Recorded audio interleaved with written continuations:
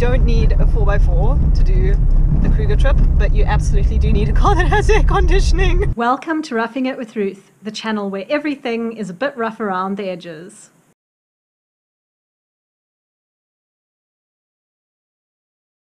My number one tip is to come with all the awesome friends that you know, because they make it much better.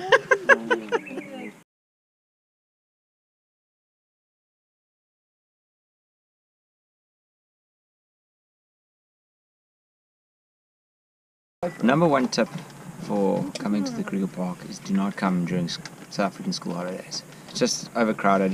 You've got to make some decisions around what you want. You want to see a lot of game and a lot of diversity in terms of what you see in the bush, probably gonna your best bet is to stick to the south. But that comes with a lot of camps in close proximity, which means you're gonna see more people. we just saw like seven, I think, Seven lions. lions eating a carcass. We have now seen four out of the big five.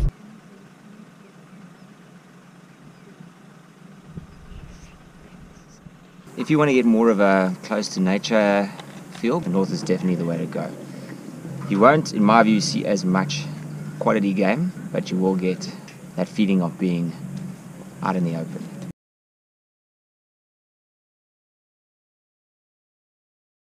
Next tip, just bring huge amount of mosquito spray.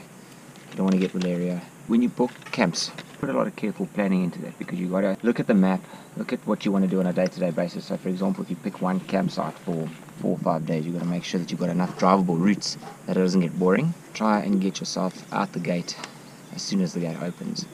You give yourself the best opportunity possible to see animals walking about. Put sunscreen on first thing when you wake up and continue reapplying every 15 minutes, especially if you're like me and you look like a ghost.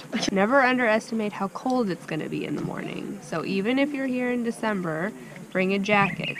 And then, Nelly, you said also bring rain gear because it could also always rain. For the ladies, definitely bring dry shampoo. It will save your life. It's kind of hard to wash your hair, so bring dry shampoo. You'll thank me later. And wet wipes. Also wet wipes. You need a, some method of keeping your drinks cold. The best is a battery system with a fridge, or you can have your cooler box and fill up with ice at the camps. Camping in the Kruger, rooftop tent or ground tent.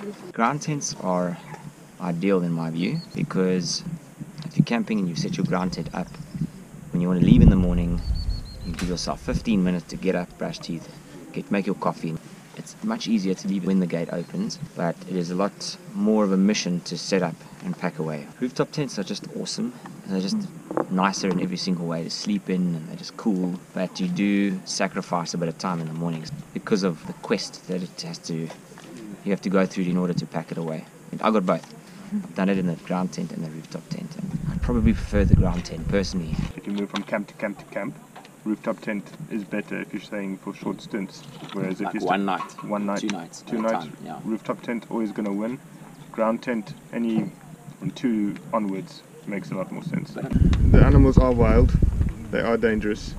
It is not a zoo. When you're on game drives, range anxiety is a real thing. Fill your vehicle at every opportunity. Take every opportunity to use the facilities. Please do not break any of the park rules. Don't litter, especially don't feed the animals, and please be on time for the gates.